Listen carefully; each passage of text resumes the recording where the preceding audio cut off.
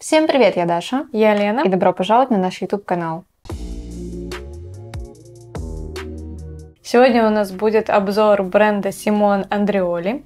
Да, мы покажем вам лучшие ароматы из данного бренда, протестируем их, расскажем, что лучше выбрать. Да, начнем? Да. Первый аромат с моей стороны, такое достаточно длинное название, Don't Ask Me Permission называется, в черном флаконе. Здесь, на самом деле, хочется сказать, что черный флакон такая, видимо... Кажется, какой-то синеватый немножко. Или у меня более, более... синий? Тут вообще, да, не А, у тебя черный. А у меня Да. синий. В общем, черный флакон, и мне кажется, он самый, судя по всему, сильный здесь будет в этой линейке. Здесь маракуйя, персик, мускус и сахар. Для меня это младший брат Кирки. Или эрбапуры. Ближе даже к арбапуре. Более фруктовый. Конечно, мускус тут э, тоже явный, с горчинкой. Но, видимо, за счет маракуйи, она тут такая достаточно яркая, он все-таки ближе к арбапуре. Мне нравится, если вы хотите перейти с кирки, уже он такой больше Ну, не такой заезженный. ядерный, он более спокойный, более носибельный, не будет раздражать окружающих. Да, ну и плюс не такой заезженный, как кирки, что-то похожее, но другое. Иногда хочется такого. Но не нам. Следующий аромат э, это Nero. Это мой самый любимый аромат из данной линейки. Просто какое-то для меня ин- инжирное блаженство. Здесь и инжир, и лист инжира, и кокос. Прям такой прям зеленый, немножко плода инжира, чуть сладковатый. Кокос, если честно, вообще не чувствую. Мне кажется, здесь больше кокосовое молоко, оно прям смягчает инжир, потому что обычно, если есть зеленый лист инжира, он такой достаточно едкий, наверное, прям яркий, зеленый. Здесь он такой поприглушеннее.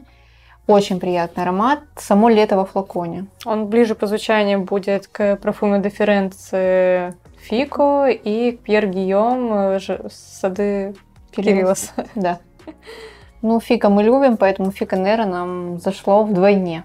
Очень крутой. Если любите инжир, можно брать вслепую. Ну, хочется сказать, что такой аромат свежескошенной травы. Потому что если вы не понимаете, как пахнет инжир. Вообще блаженство, реально. Следующий аромат, знаете, какая-то тяжелая с моей стороны. Все ароматы будут сегодня тяжеленькие. Это Sunplosion. Здесь манго, гуава, кокосовое молоко и лайм. Однозначно аромат э, мне понравился. Э, Мне кажется, он такой почти самый э, популярный, судя по остатку во флаконе.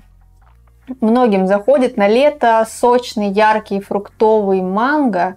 Мне кажется, его сейчас идеально носить, потому что зимой манго, гуаву, кокосовое молоко странно, наверное, на себе носить. А вот сейчас летом прям супер. Сладкий, понятный. Такой не очень сладкий, мне кажется. За счет гуавы какой-то больше такой зеленый. Он как коктейль тропический. Вот он прям тропический, что называется.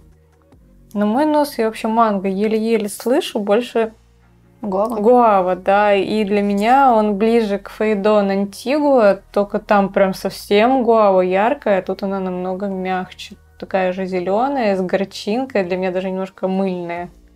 Ну да. Если говорить о каких-то тоже сходствах, я бы назвала Кассиопею, что-то ближе к этому. До этого у меня был Киркит, сейчас у меня такой помягче, по- полегче это Кассиопея. Т- Тренцеподобный аромат. Да. Но на лето тоже хорошо, и такой сладости нету.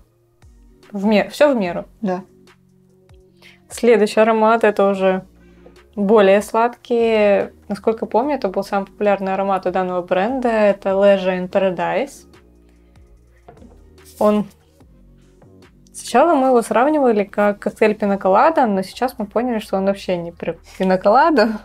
Он больше про ваниль, кокос. Очень сливочный, запудривается, мне кажется, слегка. Да, есть в составе еще папайя и ананас. Ананас, если честно, чувствую меньше, больше папайя. Ну, такой прям съедобный. Но Очень-очень много ванили, но она не приторно-сладкая, а такая в меру, я бы назвала. Очень близко к Ричарду белый шоколад. Просто Да. мы сейчас послушали его и поняли, да, это на самом деле не, не пиноколада, это Ричард белый Белый шоколад. Да. Следующий аромат, мне кажется, он такой, один из свежачок. Это Pacific Park. Здесь фруктовые ноты, карамель, груша и сахарная вата. Вот там, где груша, я все люблю. Мне нравится, он такой посвежее, немножечко пудровый, чуть-чуть вот эта сахарная вата чувствуется. Мне кажется, он менее сладкий, менее приторный, чем остальные. Хотя по составу и сахарная вата, И карамель, карамель. это просто что-то попослепательное должно быть. И кажется, что он как будто бы полегче, чем все, что мы попробовали до этого. Ну, грушу чувствую, ну прям, не знаю, ну какая-то дюшесная. Да, не, Не зелёная. Не зеленая. Дюшесная, и у меня почему-то в голове сравнение с Byredo Sundazed, только там такие горькие цитрусы с сахарной ватой, а тут груша сахарная вата, ну, помягче, чем Sundazed, но в одном направлении. Да. Что-то все почти на, на что-то похоже. Не знаешь, хорошо это или плохо. Следующий аромат это Malibu Party in the Bay. Тоже, мне кажется, один из моих любимчиков. Он не такой сладкий, как все остальные. Здесь лайм, кокос, ром и сахар. Сахар особо не чувствую, а вот цитрусы, ром, чуть-чуть кокосика. Такой тоже какой-то экзотический коктейль.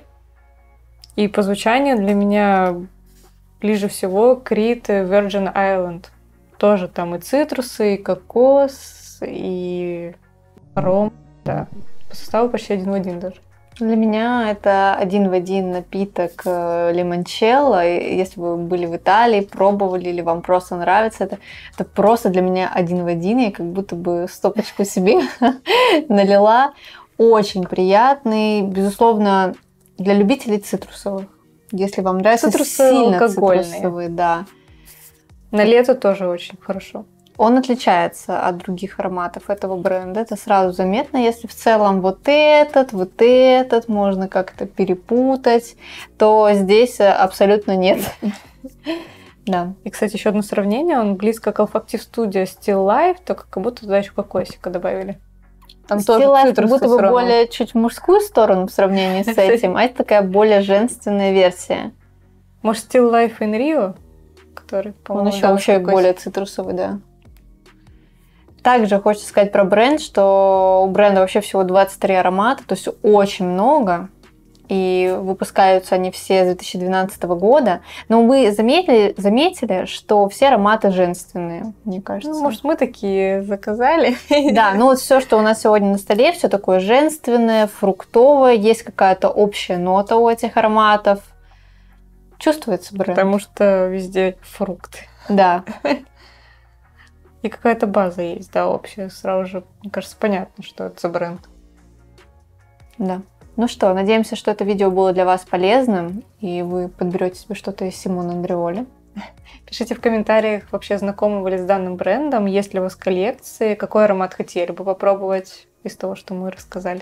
Мне кажется, это идеальный бренд для лета, для отпуска, для путешествий, и вообще, если вы любите фрукты. Для тропики. поднятия настроения. Да. Увидимся в новых видео. Всем пока! Пока!